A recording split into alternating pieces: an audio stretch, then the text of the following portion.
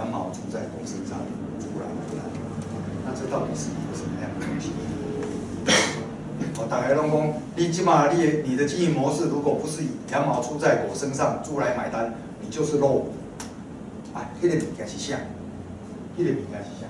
这个物件，事实上，我是把它称为利益从分配。刚刚我头来讲，啊，你咧卖啥，我咧卖啥，咱两个来讲，啊，我的物件甲你共享，你物件我共享，利大家利益从利益从分配，利益从分配，而没有随时，因为用这个名是做歹的，啥猪猪来买单，啊叫叫叫做猪尾耶，真的很准，啊，所以啊应该安尼啦。以前我们说羊毛出在羊身上嘛，有啊使用者误会这个意思。那现在这个意思就是说，使用者可以不误会，另外有人帮帮你付钱。加好加好康啊，所以这个让我这个代志。好，有有，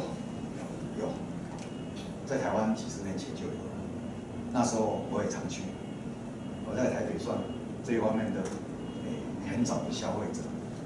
但是当当我发现讲全世界那有价公的啦。别讲我，啊，我就再也没去过。即摆买一个外景几啊，不出来个不加真大，有一个大佬，有一个大楼，伊一间停出来。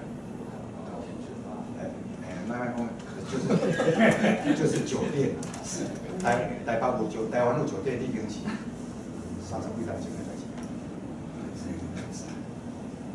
啊，去酒店的时候，咱去。酒是咱买，我出钱嘛，对不？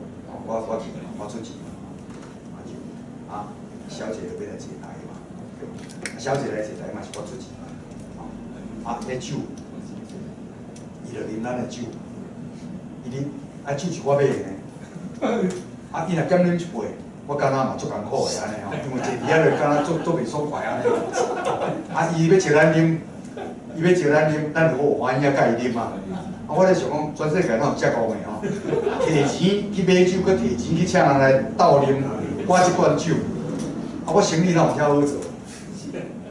啊，那个就是羊毛出在我身上，猪我去那边当猪来付钱。